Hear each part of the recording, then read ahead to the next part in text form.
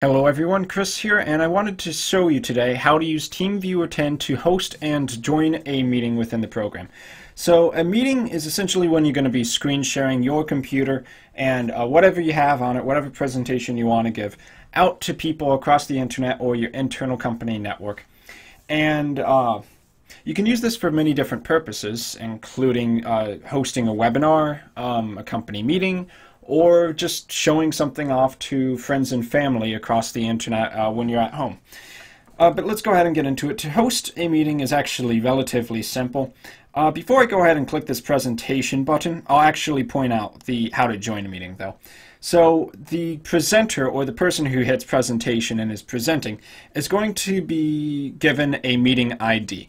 And this meeting ID needs to be given out to every single person who needs to join the meeting in one way or another. You can copy and paste it, put it in an email, whatever. In any case, anyone who's going to join the meeting while the meeting's going on is going to need to copy and paste that ID, which uh, starts with an M, and put it right here, pick a name, and then hit join meeting. And then they'll be able to see the screen share and hear the presenter as long as they have their microphone enabled. So to enable the meeting, we just go ahead and hit presentation. And as the presenter, you'll see this interface pop up and it'll mark you as the presenter right here. Now, the first thing you need to notice is the meeting ID, which is right up here. This is what everybody needs to know. So you copy and paste this into uh, whatever form of communication is going to get the meeting ID out to the people who need to join. So let them know that, then they'll start joining this. And uh, you're going to want to have it set up. So there's two different ways to do audio. One is to do voice over IP, uh, which is basically just to be recording with your mic, recording with your webcam, and using the internet normally um, in the same way as Skype to communicate to uh, your audience. And that's probably the standard way to do it. Another option is with your phone, by having phone selected, you actually call into a phone number and it will charge you a few cents a minute. And uh, by calling into that conference phone number, uh, you can communicate in much the same way, except instead of using a webcam and a microphone, you're using an actual telephone.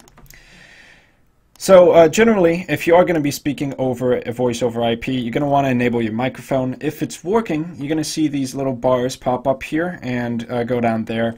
Of course, you can always ask uh, your audience if they can hear you, um, and they'll be able to tell you in ways like having chat down here. So we can send messages to chat uh, if it's enabled.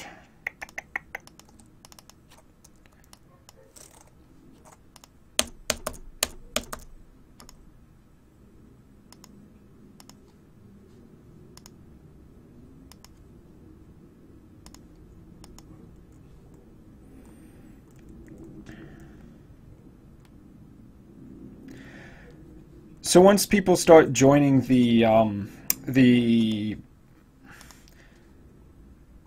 so once people start joining the meeting, we can chat with them using this little chat box, which you can uh, click on to bring up by hitting chat up there. And you can pop it up, and once they're in the room, uh, you can start sending messages to them, uh, ask them questions, have them respond to you, and you can do that while you're presenting as well. Um, a few other things you need to know. Uh, for one thing, what they're actually going to be seeing is whatever is showing here on screen share, which is uh, generally going to be your entire screen, although you can hit, I believe it's right over here, or maybe not, ah, down here at the bottom, presenting screen, and you can select different windows. Uh, for instance, show Recycle Bin, Internet Explorer, Skype, uh, whatever window you want to show. So I'll go ahead and uh, try showing this screen. Uh, and now it's showing Photoshop, but it's not showing my desktop. So it will only show whatever I have pulled up in Photoshop. And that, that's a decent way of filtering out other things in the background. You might just be trying to present one program uh, rather than presenting everything on your desktop, everything on your computer, all your documents and files. That might be completely unnecessary. So just keep in mind, if you hover over screen share, you'll see that at the bottom.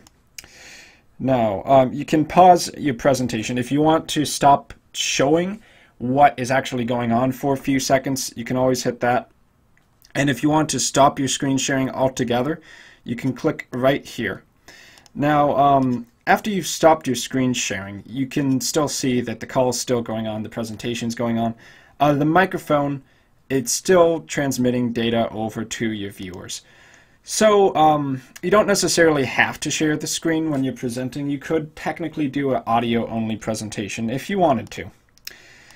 Um, da, da, da, my video. So if you want to enable a webcam so that they can see the webcam either instead or along with the screen sharing, that's an option for you there. You just have to click this little enable slash disable the video feed there.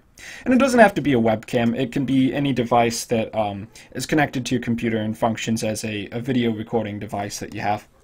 Uh, just generally, that would be a webcam. Now, uh, one more cool thing you can do, let me change this back to the whole show screen, share screen, and uh, actually record, or display this to the audience of zero people. Um, you can basically draw on the screen with the whiteboard, and that's actually really cool and really useful. Um, so you could write notes like um, 7 o'clock, this is a pretty bad mouse writing, meeting. And uh, leaving little notes like that, hopefully with better drawing skills than me, uh, might be able to communicate some extra messages to people who are just joining the chat room. Um, or the, the meeting rather, as they come in. And you don't have to draw with the brush. You can always type, so meeting at 7 p.m. Yeah, yeah, there we go. Meeting at 7 o'clock p.m. And um, yeah, you have a few tools there that are open to you, circles, etc. Um, basically, just think of it as you're using paint, but you're using paint in a way that everybody can see.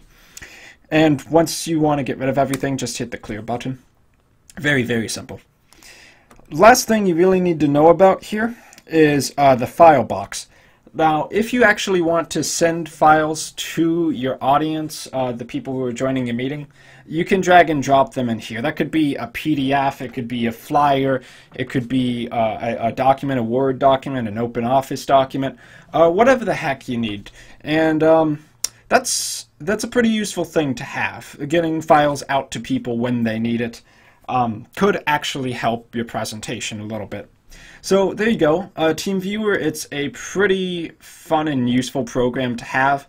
Of course, um, it's free for personal use, though there are licenses for corporations. So um, corporations do have to purchase their license. But if you're just one person, um, maybe you're just showing your friends or possibly like a small church meeting or something like that, then uh, this is a great tool you can use, and you should be able to use it for free, as long as it's not for commercial purposes.